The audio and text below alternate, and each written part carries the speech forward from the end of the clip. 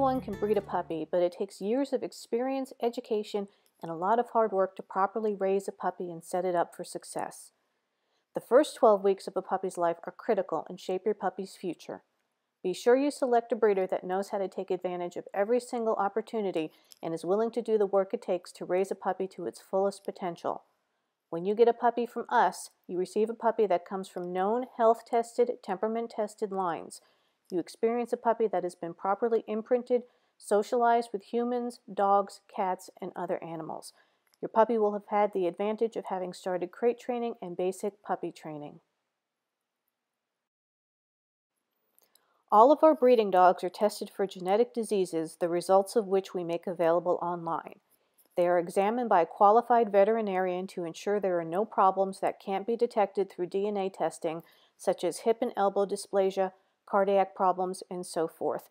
These tests are also available to interested puppy parents on request. Our puppies are bred, born, and raised in our home.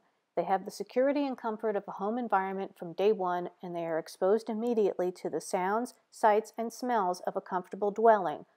Puppies undergo traditional imprinting as well as the early neurological stimulation imprinting program, which was developed by the U.S. military to help enhance the natural abilities of newborn pups.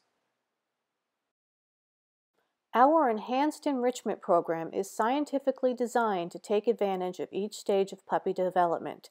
This program includes lots of specifically timed exposure to unusual stimuli, such as loud noises.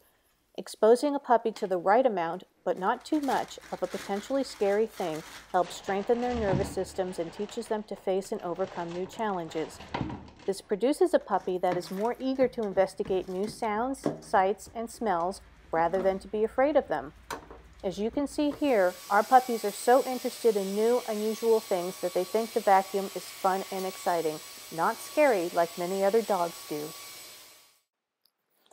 Our puppies are also trained in a way that teaches them to be eager to learn and to know how to learn and interact appropriately with people. One of the biggest complaints dog owners have is that their dog jumps on people. If you watch dogs interact with each other, they jump on each other to get attention and to instigate play. That is what they are hardwired to do. More often than not, a puppy jumps on a person for attention and gets the attention it wants. This serves to reinforce the behavior every single time it happens, so that by the time the dog is six months old or a year or older, it has learned daily to jump on people for what it wants. These puppy parents have unwittingly taught their puppy to behave badly and set them up for potential failure to integrate them well into the family as it gets larger and more demanding. We break that cycle very early in the puppy's development so that puppies and puppy parents are on the road to success from the very start. We start as early as possible to teach our puppies in a different way to ask for attention, one that is compatible with living in harmony with a human family. We teach our dogs that they only get attention when they are not jumping on or pawing at people, that they get attention particularly when they sit and when they focus on their humans. This is known in behavioral science as manding, not only does this teach a puppy the early stages of being polite, but it actually gives them a voice and a way of interacting with humans to politely ask for something such as attention or food. Another problem encountered by new puppy parents is separation anxiety. When puppies go home with their puppy parents for the first time, they are separated from the only home they have known, their litter mates, their mother, and the people who raised them. As you can imagine, this creates a great deal of anxiety. Then the puppies are isolated further by being put in a crate or locked alone in a kitchen or mudroom at night when it feels most vulnerable. This is terrifying to a young pup. So we start teaching our puppies to be comfortable in crates as early as possible. We gradually teach them that it's safe and okay to be alone in a crate through the use of positive reinforcement and gentle habituation.